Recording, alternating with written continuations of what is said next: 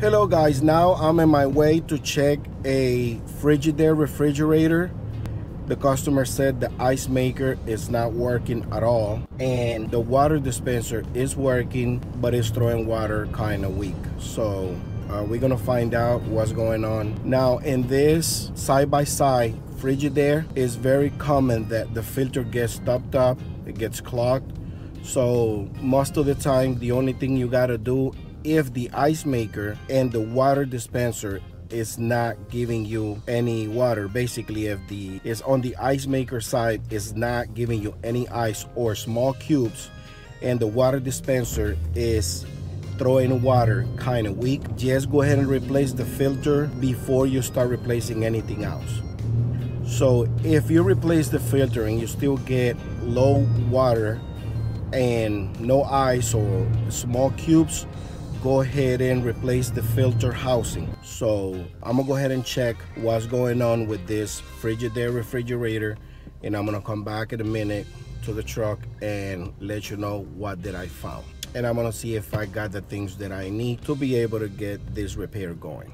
Okay guys, I checked the Frigidaire refrigerator and I found that it wasn't making any ice at all. So what I did is I went into the dispenser and it was throwing water, but it was kind of weak. It was kind of slow. So I go ahead and replace the filter and right then and there, it gave me enough pressure on the water dispenser, but it didn't make any ice. It wasn't dumping any ice into the tray. Now, I'm gonna give you an example. If you replace the filter and you're not getting any water, I'm gonna give you a very simple explanation in how to replace the filter housing, which is easy. I'm gonna go ahead and leave you some footage right here.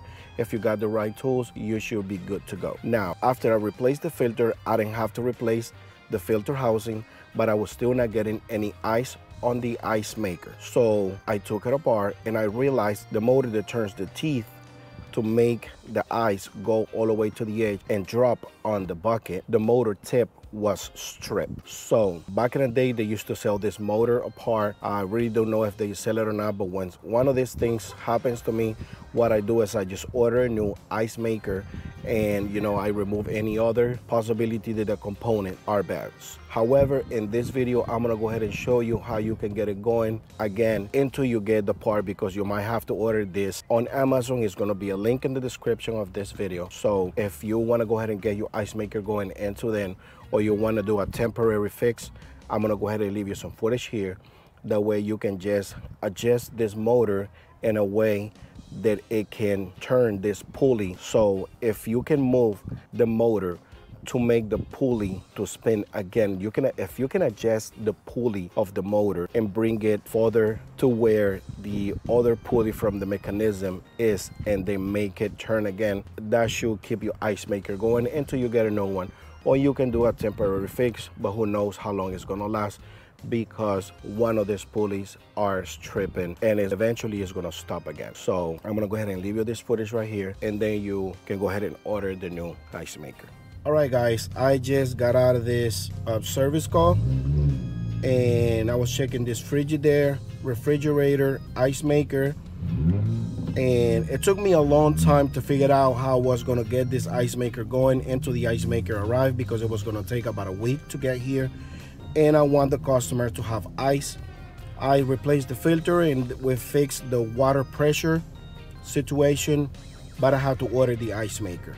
So like I told you before, I'm gonna go ahead and leave you some footage right around here.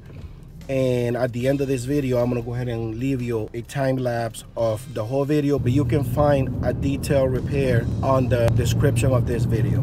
So if you wanna go ahead and watch whole video with over voice, go ahead and go to the description of this video and there's gonna be a link for you. So if this video helped you in any way, please give me a thumbs up, subscribe to my channel, and comment down below what do you think about this repair. Thanks for watching.